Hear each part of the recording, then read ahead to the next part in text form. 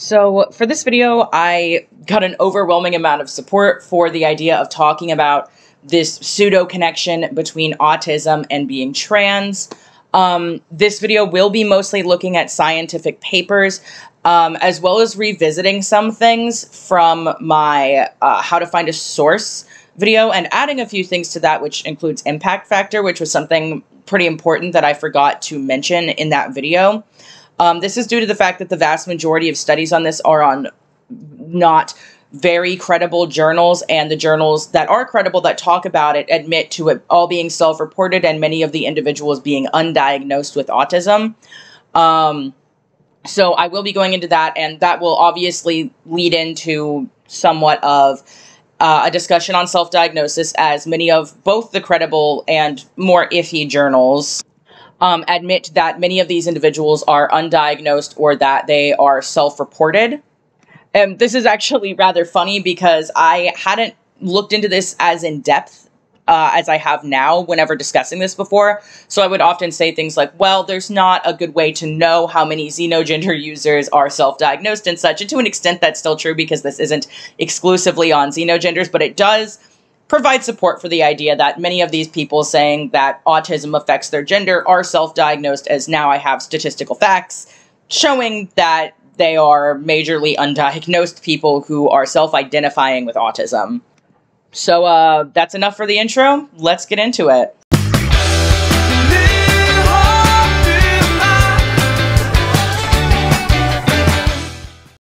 So before we move along at all, I want to touch on the source credibility thing that I mentioned. And this is due to the fact that while I was researching this, um, there were very, very few scientific articles that came up regarding this topic at all. And the ones that showed any kind of link that didn't criticize the validity of the self reporting or undiagnosed status are from journals with low impact scores that are not published on major uh, journal databases and that are just generally not the most credible sources.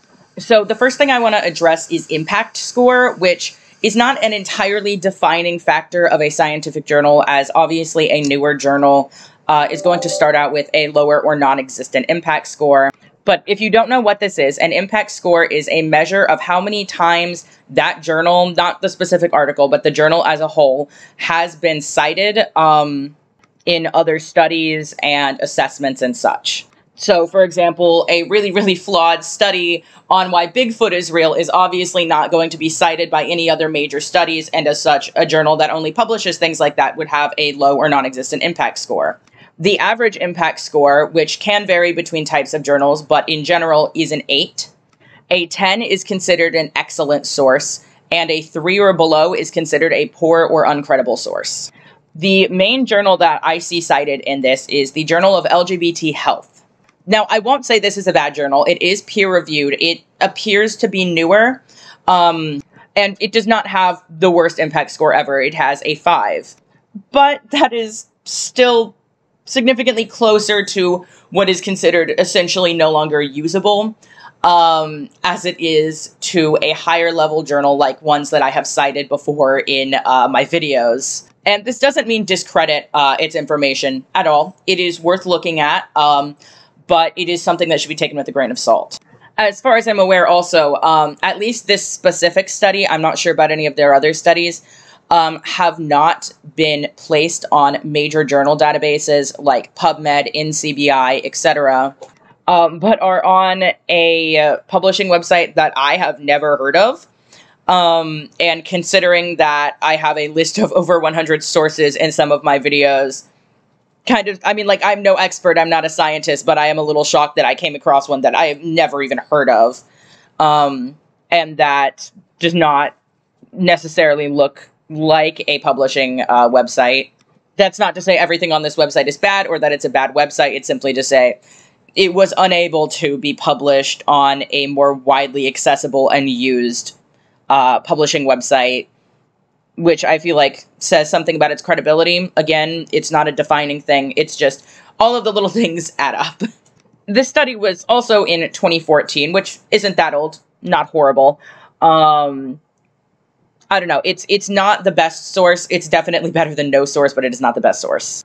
And for the last thing on this commonly cited source, it's worth noting that this is not an open source. Um, you have to either be a part of a company or school that allows you to access it or purchase permission to read the whole thing. So, what's accessible on the website is the abstract, which comes down to, I believe, I'm looking at it right now, one, two, three, four paragraphs, um, one of which is a single sentence. And that doesn't necessarily say anything about the credibility of an article. That's just an abstract. It's just saying that people who cite this do not have access to the full amount of information that it provides uh, unless they're willing to go pay for this whole journal uh, or for permission to this article, which, considering that this is one of the only times I've ever seen this uh, group of people use scientific sources, is not likely. And even if it was, it would be unable to be shared as a source to those who they're trying to convince. It also, even if it was a super credible study, does not necessarily prove anything. Um, I mean, it, it, what it says, I'll just read uh, the results verbatim. The limited ability to articulate an inner experience, deficits in theory of mind, along with the intolerance of ambiguity as a manifestation of the cognitive rigid, rigid, rigidity characteristics of ASD, may present special difficulties in regard to gender identity formation and consolidation and create challenges in psychotherapy. However, what's funny about that is below the conclusion of this, um, and this whole thing will be linked in the description if you want to read the abstract. The conclusion says the author suggests that ASD does not preclude gender transition and that the individual with high functioning autism are capable of making informed decisions regarding their medical care and life choices. The authors also consider the possible challenges and suggest techniques for assisting such clients in exploring their gender identities.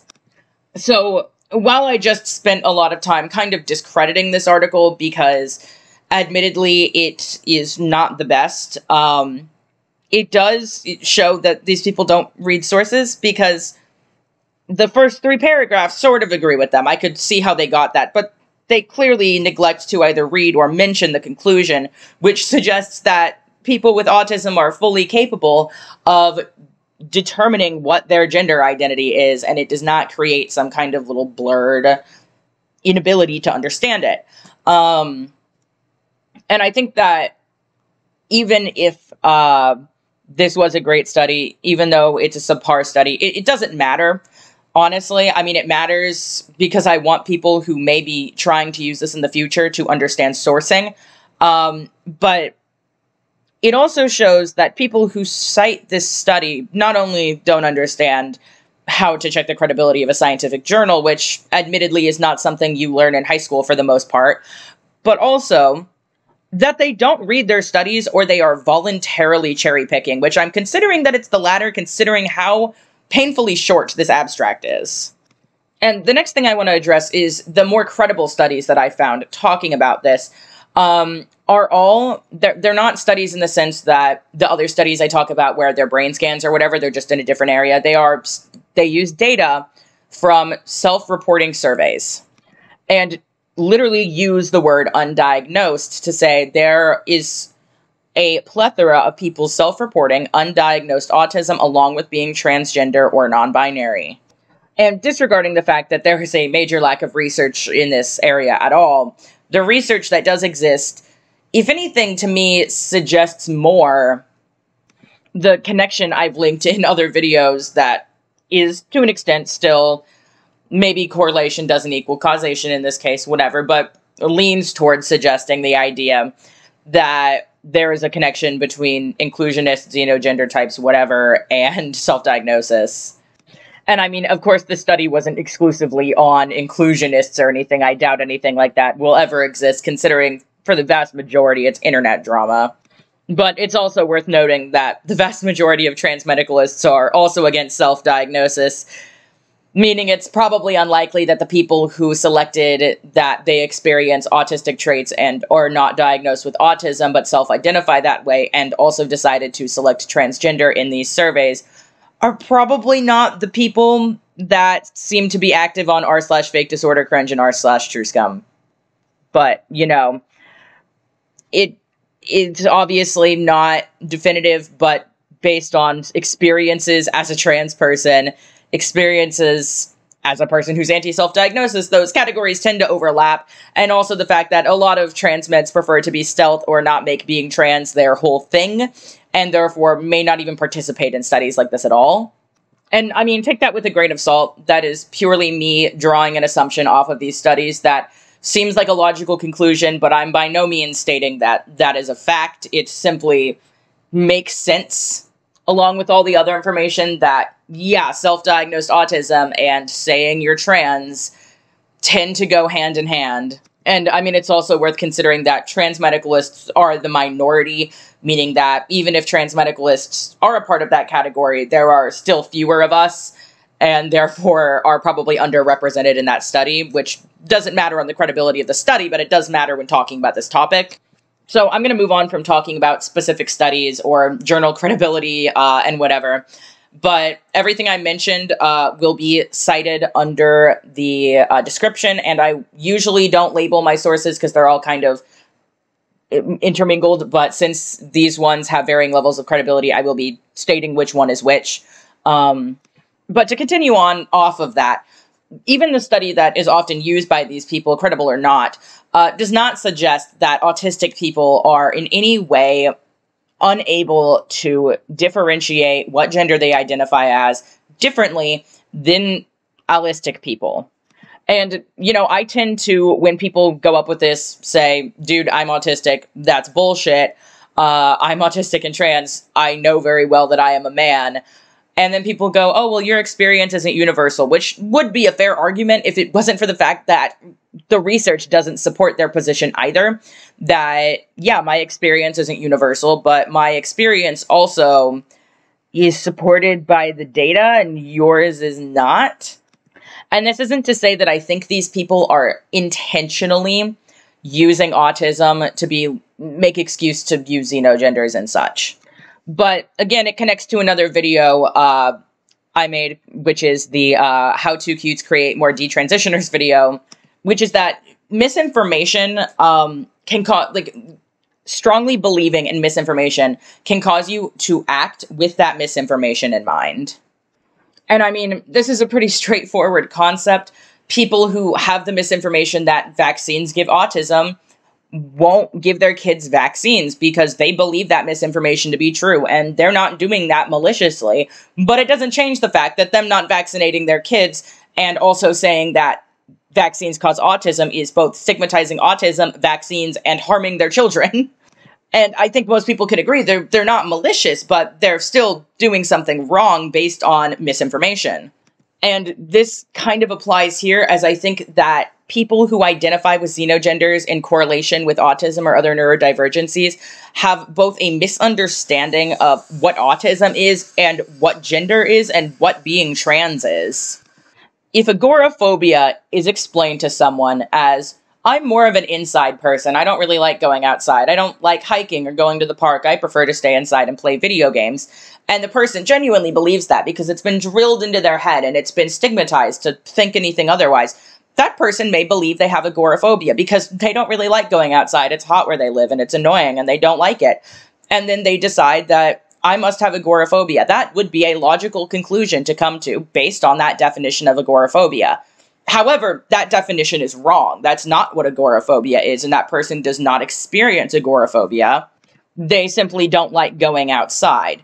So, whether or not they are misinformed and doing so with good faith intentions, it's still not true that they have agoraphobia because their definition of it is wrong. The wrong definition applies to them. The definition they're using does correctly describe them, but it's not what the word actually means. And that's the same thing with being trans. When people see being trans as dressing in a way that doesn't conform with your birth gender, or a confusion on gender roles, which can come from autism because autism can make you question societal meanings, not understand why they're there, etc. They may think, I don't understand why this gender role exists. It's stupid. I'm not going to follow it. And also maybe be gender nonconforming. And to them, that's what gender means. Gender is simply the social status, the social space that you occupy when interacting with other people.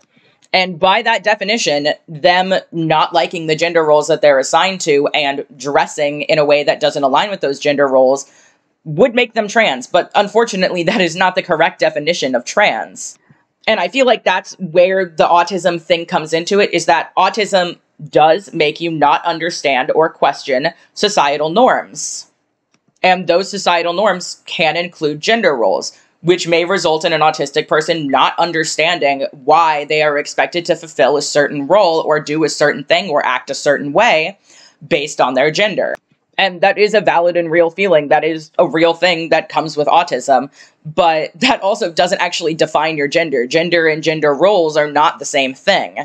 So, by their definition, them not understanding gender roles makes them trans but being trans is not that. Being trans is experiencing dysphoria to either be non binary or be the opposite sex. And being trans is a physical neurological thing. And I think this is also where the it's a social construct thing comes from to an extent, because there are portions of gender that are a social construct. Like I said, gender roles are a social construct, and they're admittedly a stupid one.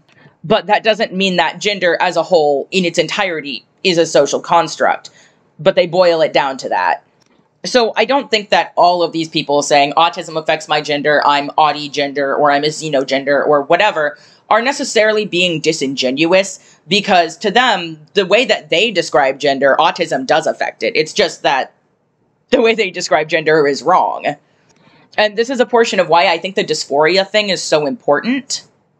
Because these people may not experience any dysphoria at all. I mean, they may, but I'm talking about people who don't they may not experience any dysphoria at all. They're, let's say, one of the people who says, I'm non binary, they're AFAB. They present completely AFAB. They go by she, her pronouns, maybe she, they. They're completely okay with being referred to as feminine in every way. They do not want any changes to their body. They have simply changed their label and nothing else and I'm not talking about any of these things individually. I'm talking about them all combined. Um, using she when you're non-binary or presenting feminine when you're non-binary is not an issue. I mean, all of these things in combination that absolutely nothing has changed except the label. But this person may believe that they're trans because they struggle to understand gender roles and they're autistic and that affects their ability to understand those gender roles. And whenever they're being pelted left and right with the idea that gender is a social construct and gender roles are just stupid made up things, which to be fair they are, but again in combination, that person may believe that their autism making them have a hard time understand why their mother wants them to wear a dress to church instead of jeans could result in them thinking they're trans. Um, and by the definition that they've been thrown at left and right, they would be trans. However, when this person decides to transition, if they do, if they decide to go on hormones, if they decide to get top surgery, which a lot of quote unquote non dysphoric people do, um, which I've seen for a variety of reasons, ranging from aesthetics to trying to prove a point to fitting in to whatever. Whenever they may go decide to do that in the future and they don't have dysphoria, there is they're going to get dysphoria. They're going to have a problem because they saw gender as purely social and they decided to do this thing that trans people do. And since they weren't trans, it didn't work for them. And unfortunately, some of them are stubborn enough in it to just keep doing it, even though it makes them unhappy. And some of them detransition, and some of them really did have dysphoria and just didn't understand what it was and are fine with it. But nonetheless, it presents a problem for them. And there's a thing that I've heard a lot of people say that I think is a good indicator of um I guess transness. I mean, it's a thought experiment. It's not like a conclusive thing, but if you were alone on a desert island, you would never see another person ever again in your life. Would you still want to transition? And that doesn't have to mean surgery or hormones. Whatever transition works for you, whatever transition you currently intend to go through, would you still do that transition if you were never going to see another person again? Because that essentially takes it to do I feel this way because I am meant to be whatever gender I identify with, or do I feel this way because of the social implications of the gender that I was born as or the social constructs surrounding that gender? Because if your answer is no, you're not trans, you don't like society. But if the answer is yes, it shows that it is part of your neurology, it is part of your psychology, it is part of who you are, and it is not in any way a social statement or a miscon- or a misconstruing of gender roles or whatever. It's simply I am trans and no outside in out no outside source is affecting that. So I guess I wanted to end on that. I kind of wish I had included that earlier, but it's going to be weird to edit it in now. So, um, but I guess just to conclude, there are no studies showing that autism, uh, people diagnosed with autism have higher rates of being trans or higher mental health issues regarding their trans identity. The sources usually cited by these people are not credible, and even not being super credible, are not proving their point anyway because they go on to say that being autistic does not affect your ability to understand gender. And the fact that they don't have a proper definition of gender, so their improper definition fits them, but it's not actually what makes them trans. Um, and yeah, that's that's it, I guess. Uh, if I, I feel like I have more to say, but I couldn't think of it. There's just like something that I feel like I'm missing. So if anyone has any questions or feedback or whatever, um, I will include comments on this video along with my comment response video that I'm going to be doing uh, for next week's video. This is just a little extra because I haven't uploaded because my computer was dead. So, uh, yeah, thanks for watching. Uh, det. I stare at the populace in into the air. I sing for